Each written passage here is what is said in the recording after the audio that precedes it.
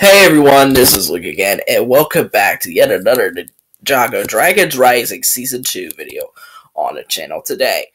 So this is going to be my third and last part for now, because we only got part 1 of Dragons Rising Season 2 so far. But this is going to be my last part before I switch to other stuff that I want to talk about in the world of Ninjago. And that is another installment of what Dragons Rising Season 2 improved on, but not necessarily for Season 11, but from a season from almost a decade ago, aka the Tournament of Elements. And what am I talking about exactly? Well, it's the idea of, well, the idea and the execution of the Elemental Master of Smoke. Now, if you watch season four, you would know that the elemental master of smoke it is named Ash. No, not that Ash from Pokemon. Um, different Ash. And the weird thing about this character is that he doesn't have any spoken lines. He only has laughs and grunts. So it's kind of weird that he has a voice actor, which is Brent Miller, by the way. Um, but yet he doesn't really say anything. It, it, it, it feels like they could have done something with his character, especially considering he had a cool fight scene with Kai in the third episode of Tournament of Elements. But after his elimination, there really wasn't anything that they could have done with the character. And honestly, that's kind of disappointing considering he didn't really have that much of a personality, considering we don't know him because of his lack of dialogue. And he did return, I think, in. Wait, no, I don't think he did return in. He didn't even return in Hunted. I don't think he even returned in Hunted at all. Um, which makes it all the more disappointing. But now it seems like we've gotten a new Elemental Master of Smoke who not only has written dialogue, but seems to be more than meets the eye. And of course, I'm talking about Cinder, aka one of the, I would guess, the second in command, or trying to fight to be the second in command for Lord Ras, along with Jordana. And honestly, this guy is a freaking badass. I swear. I mean, even in his base form, he was knocking fools off of their feet.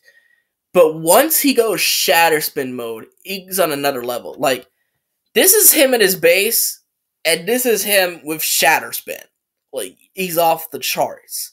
It's it's almost not even fair to fight against him with shatter spin, considering there's literally only one technique that can counter it, which was Rising Dragon. The dude was a straight up menace.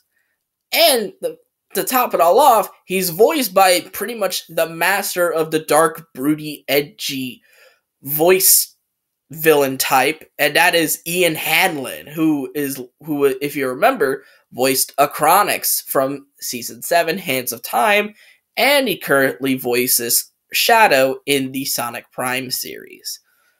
So I think they did an excellent job casting Ian because I honestly wanted Ian to come back for so long, considering how much talent the guy has.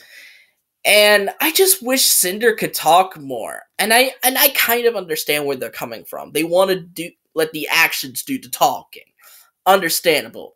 But if you're going to do that, why not make him a silent or a mute character like Mr. E? And yes, I know Mr. E technically did speak in season 8, but it was more of a backwards message rather than an actual piece of dialogue. And it kind of sucks that he doesn't really speak that much, considering, you know, a lot of people love his voice already, and I do too. It just makes me want to see him more and more, just to so he could body more people left and right and center. I mean, he is elite. The reason why Wyldfyre was sidelined throughout most of part one. He literally beat Euphrasia till like within an inch of her life and treated the ninja like they were just nothing. Like they were still working on from just working on the basic spinjitzu.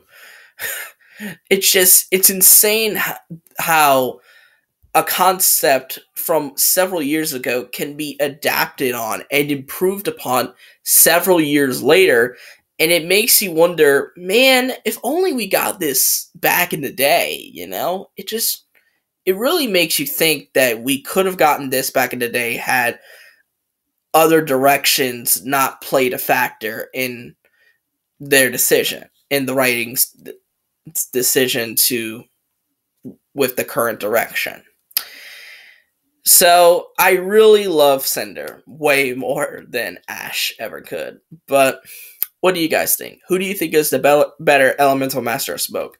Cinder or Ash? Let me know in the comments down below. But anyways, I hope you guys like this video. Give it a thumbs up, subscribe to the channel by clicking that red subscribe button, and click on the notification bell to see every video that I will upload. And I'll see all you folks in the next in the next video. Bye bye.